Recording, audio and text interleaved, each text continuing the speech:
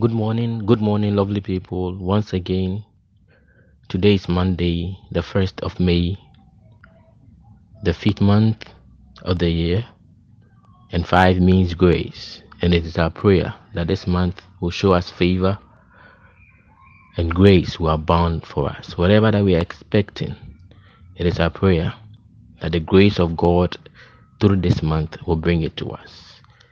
This morning, let us have a reflection on the book of John, chapter 14, verse 3.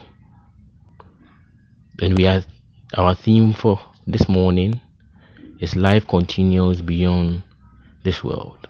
Life continues beyond this world. John chapter 14, verse 3 says that, And if I go and prepare a place for you, I will come back and take you to be with me, that you also may be where I am. Amen. Beloved in Christ, we are all familiar with the life on earth here, but there is also another life that is beyond this world. The difference is that life beyond this world is not in the flesh and not visible to the human eye.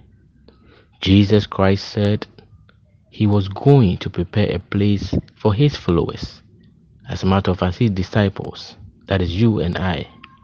He would come back one day to have us with him, and there we will live forever. This life beyond this world seems to be very much tangible because Jesus Christ said there are mansions or a place of residence. And so this makes heaven very, very realistic to us. We can therefore suggest that death do not just end life. It can be considered as a transition from one world to the other. This place is definitely a preparational ground for us, and Jesus is for us and it is said that he will come and take us along to heaven as he has prepared for us, as promised in the book that was read. It is for only those who live and die for Christ that will go along with him to this place that he said he's preparing for us. When we think of life beyond this world, we need to think always about Jesus, our present relationship with him, and how we relate with Him. This will determine if indeed we will have this place that is being prepared for us. It is Jesus who will come to receive His people. And He said they will be at the same place where He is. It is about His people. So we ask ourselves this morning are we part of the people of God or are we part of Jesus' people? It is Jesus who is preparing the place at his Father's place for us. Jesus said, He is the way to the Father. He's the only way and not any other way. He is the Lord and Christ. While we live, we need to always have in mind that there is life beyond this world. Hebrews 9:27 says that it is appointed to man to die once, and once after death there is judgment. While we live, may we also be mindful of the life that is after. Let us understand death as a situational transition. So, as said, death is seen to be a transition from this world to the other world of eternity.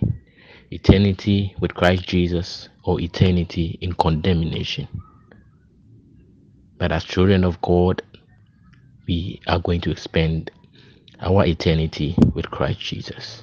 But it all depends on how we prepare with Christ in the vessel. This morning, let us be encouraged that if we have Christ in our life, if we prepare each day towards our death by making Jesus Christ the center of our life, who is the way, whom which we will inherit heaven, then we know that we are secured and will definitely be with Him at the hour of our death. Let Jesus Christ be the center of your life and believe in Him.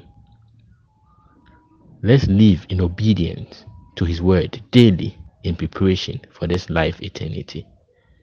And if we are able to do this, indeed, whatever preparation that He has made for us in heaven, we will be able to inherit. May the Lord bless you this morning. May the Lord keep you. May the Lord let His face shine upon you. May He give you peace today and the whole this week. In the name of the Father, Son, and Holy Spirit. Amen.